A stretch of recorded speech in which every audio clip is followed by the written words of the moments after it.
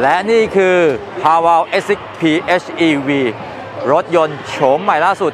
ที่ตามคำสัญญาของ Great Wall Motor ซึ่งเขาจะนำมาเปิดตัวในประเทศไทยนะครับ หน้าตาแน่นอนครับ ทุกคนคุ้นเคยกันดีอยู่แล้วสำหรับเจ้าตัว h a w a l S6 แต่ในรุ่น Plug-in Hybrid นี่คือครั้งแรกของโลกที่ Great Wall ให้เกียรติประเทศไทยในการเผยโฉมนะครับ หัวใจสำคัญคงอยู่ที่เรื่องของระบบขับเคลื่อนครับ บอกเลยว่ายังคง ใช้เครื่องยนต์แบบเดียวกับ H6 นะ คือเครื่องยนต์เบนซิน 1.5 ลิตรเทอร์โบพร้อมมอเตอร์ขับเคลื่อน 2 ตัวนะครับพละกำลังรวมสูงสุด เขาระบุไว้ที่ 326 แรงม้า แรงบิดสูงสุด 530 นิวตันเมตร แต่ยังไม่ระบุรายละเอียดว่าเครื่องยนต์เท่าไหร่และมอเตอร์เท่าไหร่นะครับ ตอนนี้เป็นเพียงเวอร์ชันที่เปิดตัวให้เราทราบ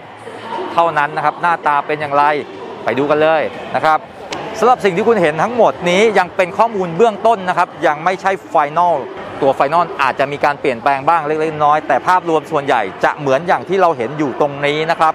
กระจังหน้าดีไซน์ใหม่เลย คุ้นๆไหมใช่ครับ คล้ายๆ แบรนด์ยุโรปแบรนด์หนึ่งนะครับ แต่ถามผมว่าสวยไหม อันนี้มาสวยกว่าตัว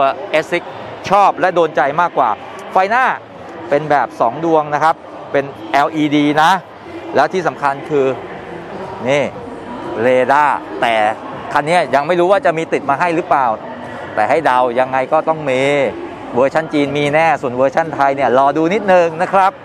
เฮ้ยสวยอ่ะโดยโดคือโดยภาพรวมแล้วเนี่ยถือว่าออกมาได้ถูกใจผมมากกว่าตัว s อนะ กล้องมองอยู่ตรงนี้นะครับ กล้องสองทางด้านหน้า ผิวตรงนี้เป็นเหมือน Kevlar ให้ความรู้สึกที่ดูเป็นสปอร์ตมากขึ้นกว่าเดิม เฮ้ย ชอบอ่ะ คือ เป็นอีกหนึ่งคันที่ออกแบบมาแล้วตรงใจนะครับสำหรับด้านข้างนะครับ ก็มาในดีไซน์เดียวกับตัว H6 รุ่นไฮบริดนะครับ ได้ล้อแม็กขอบ 19 นะ ส่วนด้านท้ายนั้น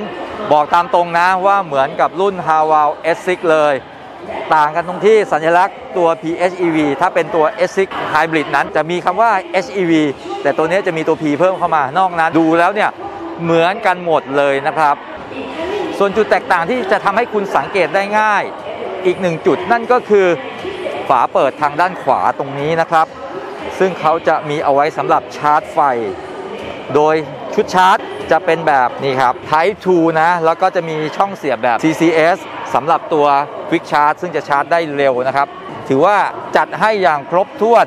เดี๋ยวรอการเปิดตัวอย่างเป็นทางการจริง ๆ ข้อมูลเป๊ะๆอีกครั้งหนึ่ง ภายในห้องโดยสาร S6 PHEV นี่ก็ไม่ได้แตกต่างจากตัว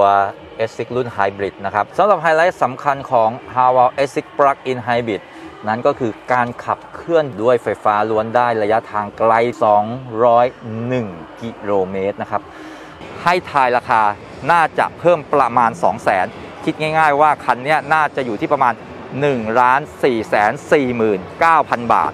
แบตเตอรี่ซึ่งถือว่าเป็นของสำคัญที่สุด และมีมูลค่ามีราคาแพงที่สุด 40 กิโลวัตต์ คุณหันไปดูมินิขายเท่าไหร่ คุณหันไปดูนิสสันลีฟขายเท่าไหร่ เขาใช้แบตไซส์เดียวกัน เหนือสิ่งอันใด นี่มีเครื่องยนต์ มีอุปกรณ์ไฮเทคเต็มรถไปหมด ตัดสินใจดูครับ เรายังไม่รู้นี่เป็นเพียงราคาคาดการ แต่เราเปรียบเทียบให้เห็นชัดๆ เห็นภาพง่ายๆสำหรับเจ้าตัว h a w a l S6 PHEV วิ่งด้วยไฟฟ้ารวน 200 กิโลเมตรนี่โอ้โหยังไม่มีใครทำได้จริงๆครับ ในตลาดไทยณเวลานี้ ก็ขอบคุณสำหรับการติดตามนะครับ ส่วนจะเปิดตัวอย่างเป็นทางการเมื่อไหร่อย่างไร เราจะนำเสนออย่างแน่นอนนะครับสำหรับวันนี้ลากันไปเพียงเท่านี้ สวัสดีครับ